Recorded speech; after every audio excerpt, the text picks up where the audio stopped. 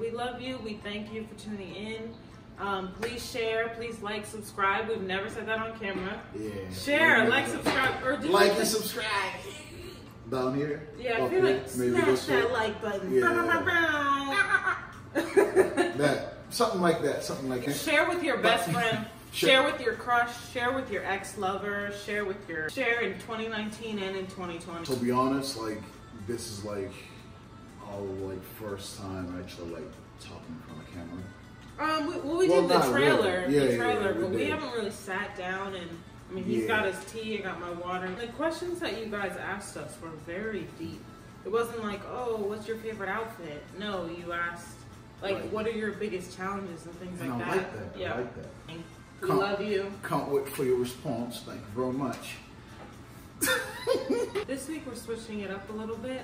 Um, a lot of people, a lot of you have been asking us to tell uh, more about ourselves. You want to hear us speak on camera. You want to know more about our relationship. Our And so we reached out on social media and asked um, if you have any questions for a Q&A YouTube video. Welcome to Nyaks and Chels again. We have some questions that you know some of our fans and some of our friends and family would um, like to know about us. The first question was from at Bad Beans or Baddy Beans, and the question asked, "How did you guys meet?" So, um, um, Nyakeh lived in Lowell, which is outside of Boston, and I'm from Baltimore. So I actually had a best friend at the time who uh, lived in Boston, and so I went up to see her for the weekend. It was going to be a girls' weekend. We were going to Boston to hang out at an Airbnb. Mm-hmm. Um, but at the time, at the time he was dating, or no, at the time my best friend was dating his younger brother. And so he convinced Nyakeh to come out with us, and that was the first time I met him. So I met him at the Airbnb before we went out.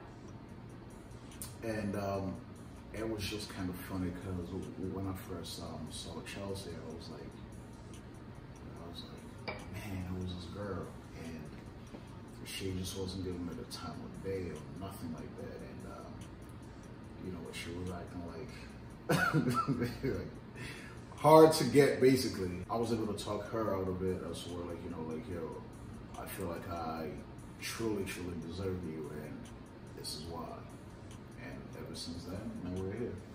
Uh, that's not how it went at all. no, no, that's what I was like. All right. So he's from Sierra Leone and he has an accent. And so when I first met him, I didn't understand anything he was saying. So, number one, I was eating Chipotle, which I love Chipotle. Um, I feel like a lot of people love Chipotle. But he told me that he doesn't like Chipotle. And I was like, okay, I don't like you already. I didn't understand what he, he was saying. He didn't like Chipotle. Um, yeah, and then he took a nap. He was on his phone the whole time, and then he took a nap before we went out. And I'm like, who does that? Um, when you just show up to hang out with everyone, and then you're like, bye, I'm gonna go take a nap. Yeah, because I was off for like two days, of like you know, before I met you. So So anyway, so we went So- out. We went to um, the first club, but we weren't able to get in or something.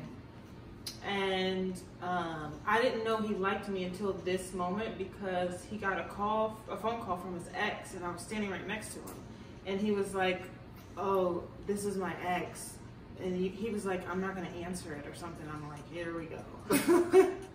Obviously, he's interested in me. Um, but I was like, I don't have time for the nonsense. So I was just here for the girls' weekend. And then we went to the second club. We had a lot of fun. You started to show your gentleman side towards me. You know, like as always, am. um, he gave me his coat, things like that. That's how And you do it. I wasn't really. I mean, it was very nice, but I was never thinking that I wanted to be with him. Next question. the other part. Do you coordinate outfits together? No, we don't coordinate our outfits together. Um, No. We don't. We don't even We think don't. about that, to be honest. Yeah, we really Unless don't. we're doing like the matching YouTube video we did, or cute couple. Did we do a cute Outfits. couple outfits? Um, when we had the um, button-down shirts on, and that Uh-huh. was kind of matching. hmm But when we go out, we don't really. I mean, like right now, we look like a crayon box. Yeah, we do. well, not really. I don't. Okay. Another question from at Body Bins, and it reads: Can we get uh, more videos with some dialogue from the two of you? I feel like your personalities will be dope. We've talked to a lot of um, you guys and have said that we're trying to do a m- mixture of videos. Mhm. So we want to do videos with talking, um, videos without. Um, And it sounded all obviously not. um, we want to start to do more storytelling. So like girl meets boy, you know, wearing certain outfits. Uh, we have a lot of things up our sleeves. We have um, so many ideas that we're actually like trying to bring to life, and it will take some time. The next question comes from at Truly Ami. She asks, "What keeps you guys motivated to keep striving towards your goals?" What actually uh, motivates me is the fact that I get to wake up every day doing what I love to do, and I am also, you know, trying to uplift somebody out there. As you know, as it's um, written in the book of Matthew, it says that we should shine our light in front of men so that our Father in heaven will be glorified.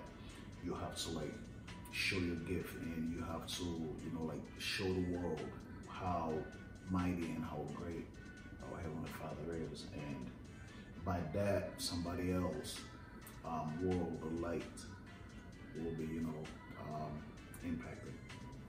So um, I have a blog called Empower Palette. I've had it since 2016. Yeah.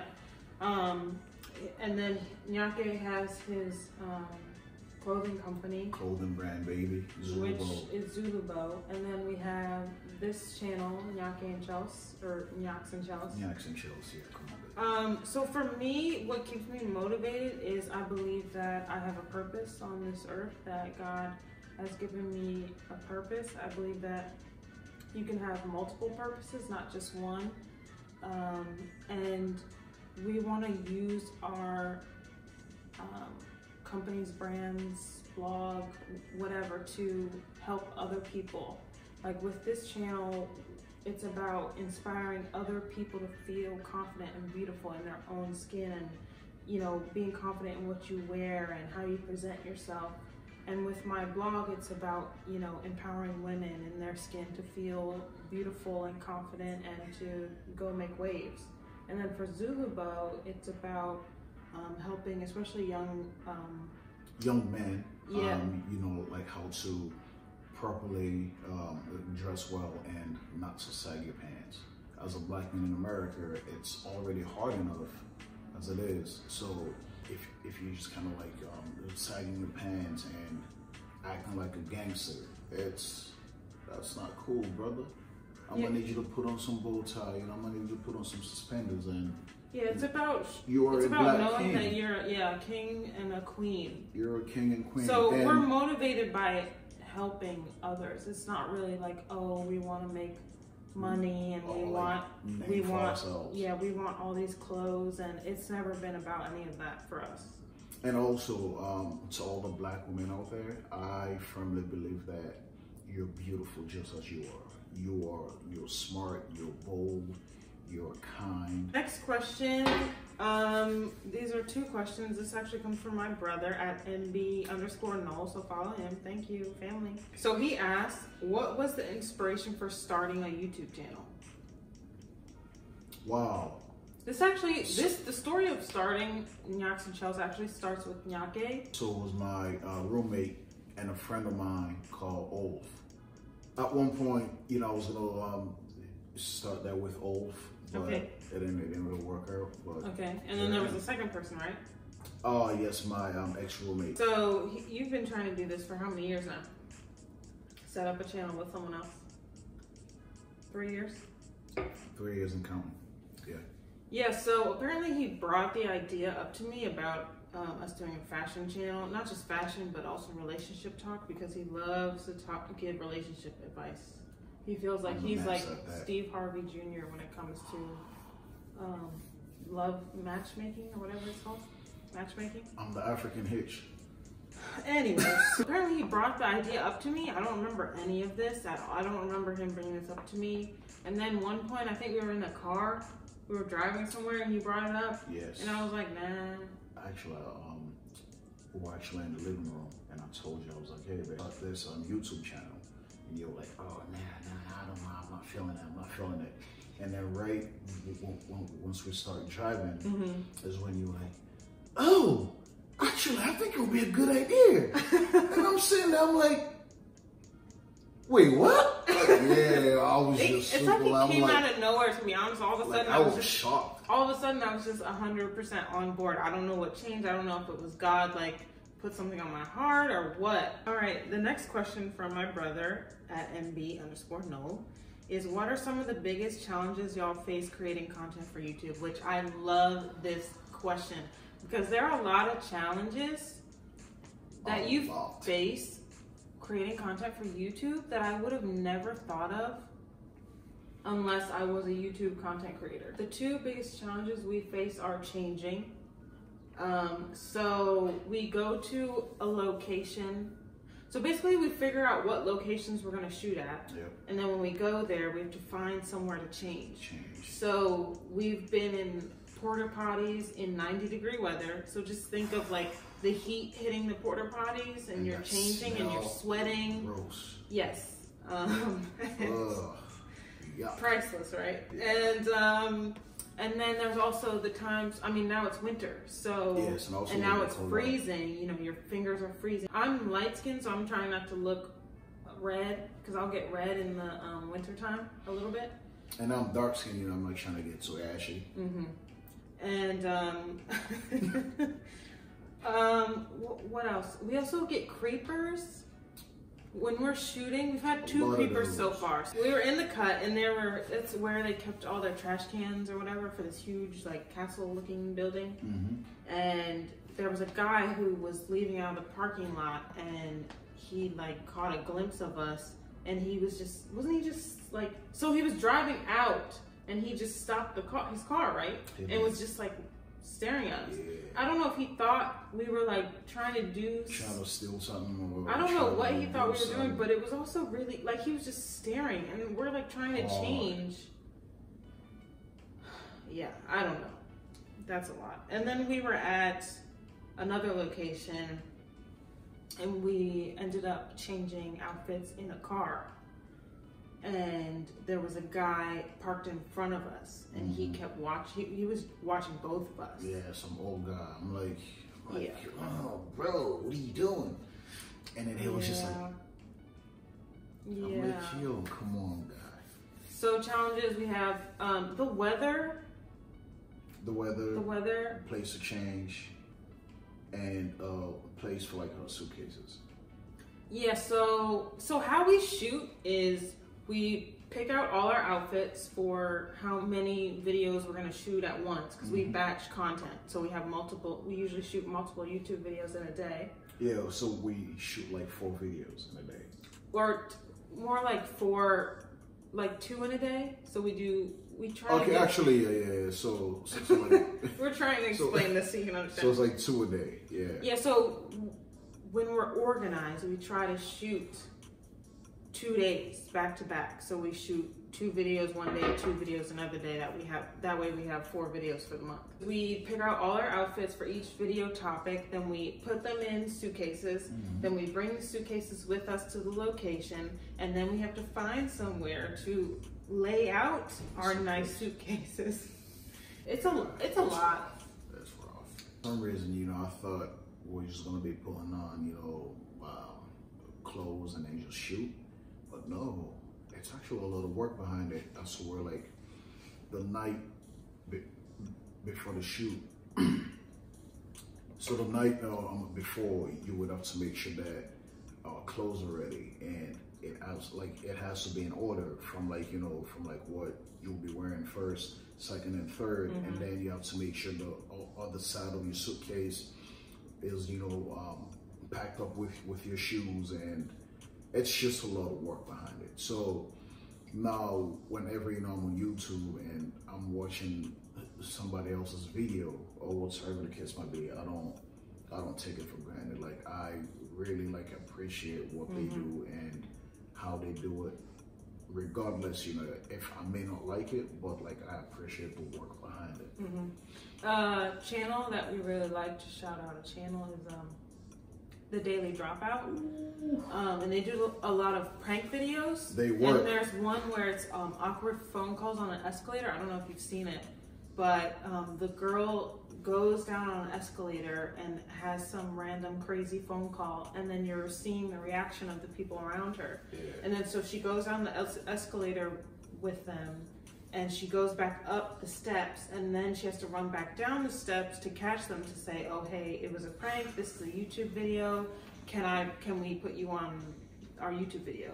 That right and she has to do that is work. every time. So you're watching it and you're just thinking it's continuous or you know, it's funny, you're laughing, but if you really think about it, she's going up and down, up and down, talking to all these people. It's a lot of work. That's like a marathon. Mm-hmm. Okay, so am I reading the next one or do you want to read? I got it. So the next one is from your dilemma. Dilemma. Oh, your dilemma. Mm-hmm. So the next question is from your dilemma. Okay, underscore your dilemma underscore. So she says, I'm new to your story. Um, do you mind telling me more about your aspirations separately and how the other has helped you move forward in achieving those dreams? Mm. Wow, your dilemma. That was a dilemma question. oh. Hey. You want to start? Um, I mean, we already said about. So I have a, the blog Empower About. He has his clothing brand Zulubo. Um, and we help each other out. I mean, I've helped him with his website, and um, I do a lot of the gra- graphics. Can I say that? Yeah. I do a lot of the graphics that you might see um, on his Instagram and things like that. I've also done a lot of the graphics on his website. I mean, it goes both ways. If I need help or I'm having issues, um, I'm having like writer's block or something, not being able to find a new topic for the blog, he'll help me out or try to help me relax and things like that. We're really supportive of each other and each other's dreams. I think we allow each other to grow, but we also challenge each other. And if we think something is SHIT, then we'll tell each other that it. it's that. it might hurt. It might hurt. It's all about teamwork, Mm-hmm. knowing who you're with and knowing how the other person, you know, um, operates. operates and and do things. So if sh- she's going through like any type of thing, like I know how to make her mind go, like you know, like relax. I know how to calm her down, and right when she gets back to work, she's very very productive. I would say, yeah, and there are times you know if her work is not that good. Babe, I don't know. This one ain't like, eh, it's alright, it's alright. You know, but then it's like, I'm not just gonna come to her and say, hey, oh, I don't think your work is good enough. I feel like this is what you can do. This is how you should do it. And it's just kind of like the same thing, you know, if I make a graphic, uh, and then, you know, I show it to Chelsea, she'll be like, mm, yeah, baby, like shit. Uh, yeah, but, yeah. Yeah, Yeah, so, so yeah, I, I make a lot of the graphics, and he'll try to make a graphic, and then he'll be like, "Oh, I'm gonna post this," and I'm like, "No." She'll be like, mm, nah, I got it. This is it. but Yeah. there's a difference between being honest with each other and then hurting each other's feelings. So Mhm. there are ideas that Nyakeh has had, and I'm sure I've had, where I don't shut down his ideas. I just let him roll with it. And then maybe later on, he's like, okay, that wasn't a great idea. But a lot of times, people have to figure these things out on their own. So sometimes it, I mean, knowing who you're with, sometimes it's it's appropriate to say no. Uh, I don't think this is a good idea, and why. And sometimes it's it's you know you just have to give them space and let them figure it out on their own because it is their own dream, their own aspiration. And I think with everything that we have, the blog, his clothing and the YouTube is just we want to reach a larger audience. We do. Um, it's not about being famous for us or like the recognition. We just know that when there's a larger audience, we'd be helping more people. Absolutely. And so whoever is out there that's in a healthy relationship, right? You need to be able to take constructive criticism. If you cannot handle your partner saying to you, or you know, like, oh, I don't think what you're doing is right and you should change it, and I don't think you should be in a relationship. I'm sorry to say, but you have to be able to take constructive criticism. All right. What's the next right, question? next question. so the next question is by your dilemma. It reads, have you guys gotten acclimated to each other's culture? That is a great question. I am from Sierra Leone, West Africa, and Chelsea is obviously from here.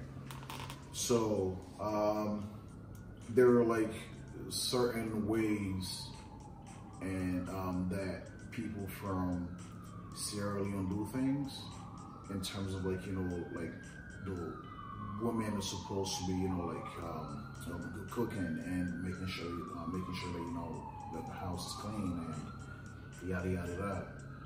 But over here it is that's not how it is and. And you know, it, it was just kind of like a shock for me, but you know, at the same time, it really wasn't because I am quick to like Adapt. adapt to things. A friend of mine once told me this, and I would never forget it. He was like, "Yo, Nyaki, like, you're a strong Black African man, and for you, when it's if you were to marry a woman from here." I think you would have a hard time like adjusting. Having like that alpha like personality that you have, he said it will be very difficult. And time passed by and I've, I've been dating women from, you know, from, from the US who aren't African. And um and I came to find out and I'm mm-hmm. like, damn, this kid was right. Mm-hmm. I don't control, but like I tell like yo like i want this done. Mm-hmm. This is how i want it done.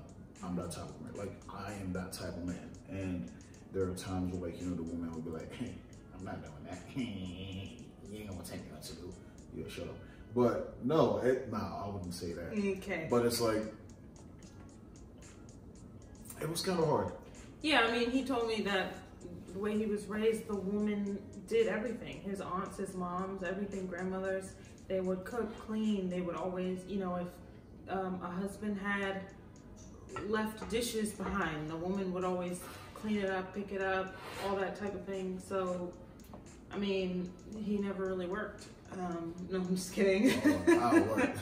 i'm a good cook too i'm a Um, good cook I actually learned this the hard way with him mm-hmm.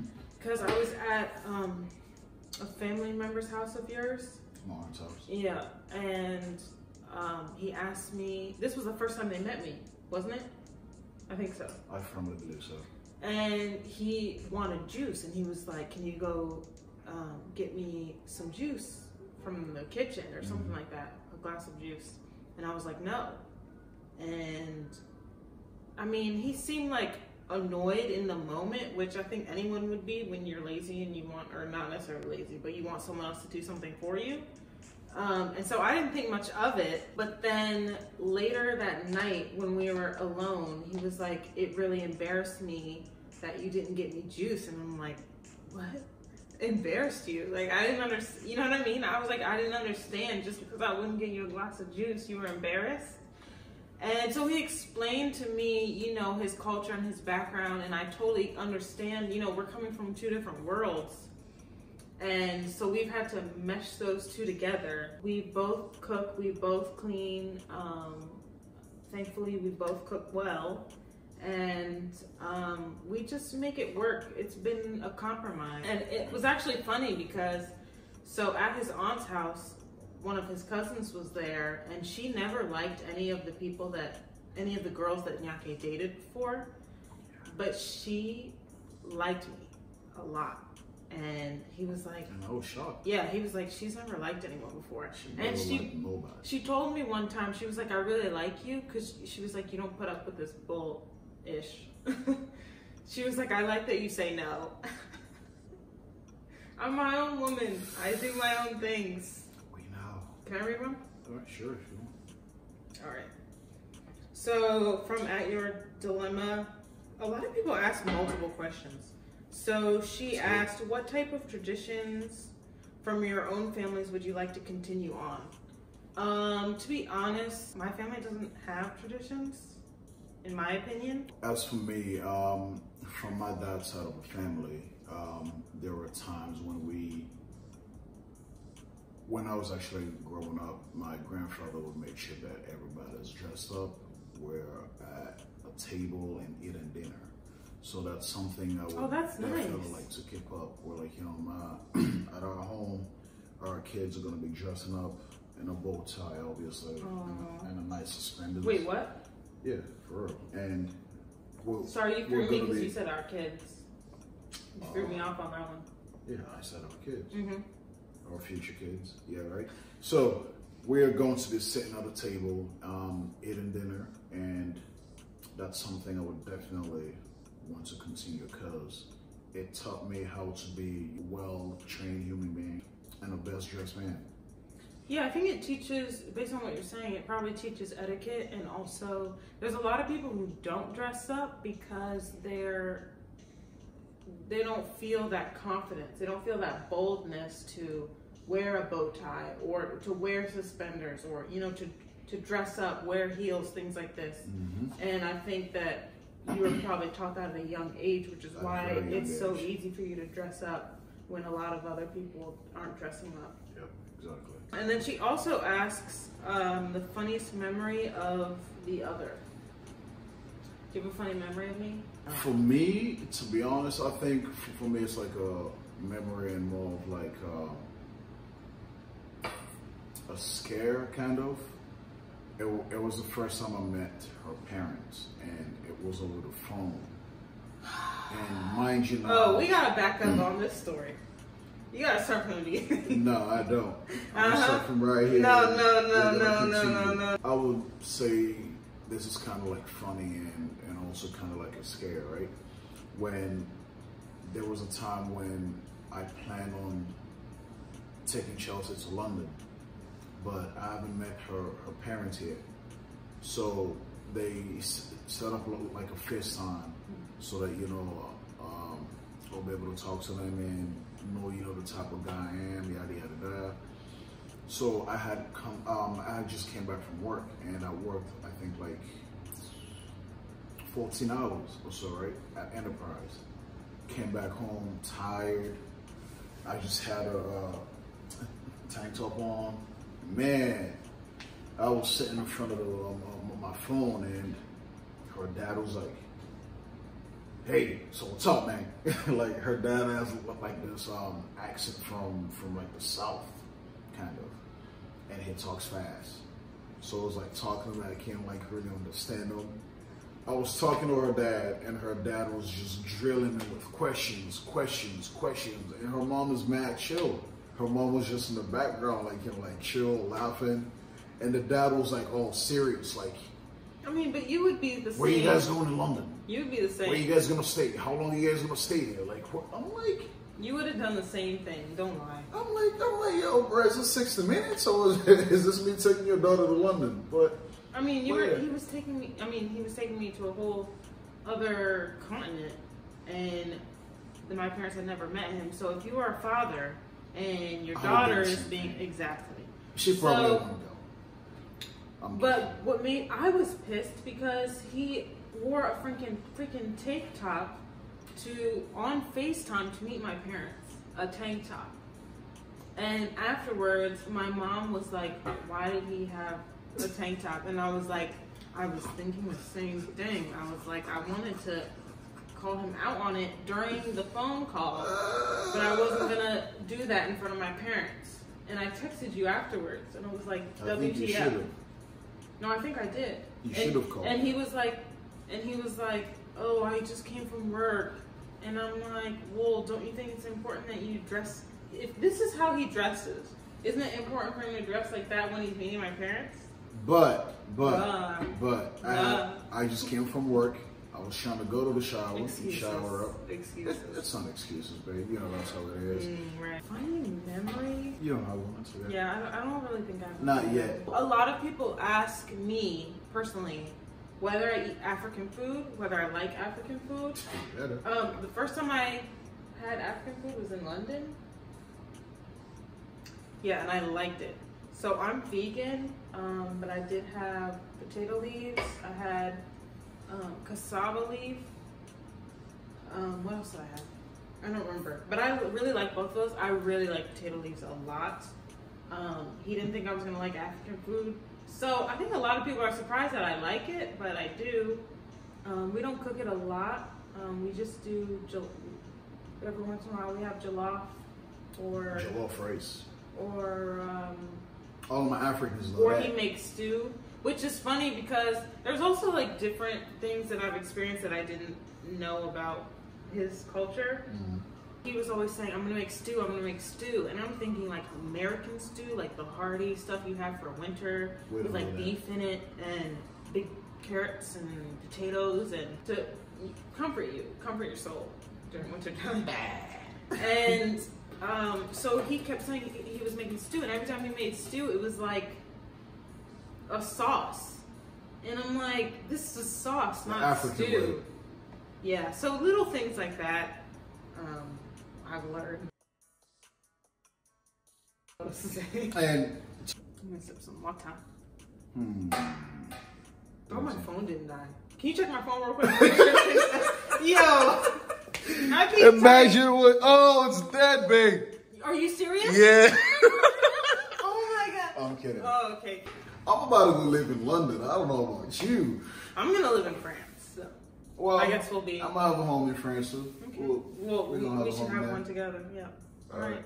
We just want to say once again, thank you very much Thank for you. know for the time you take to um, watch our videos. Yes.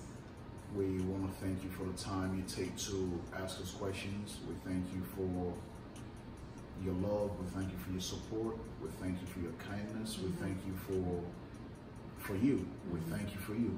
Yeah.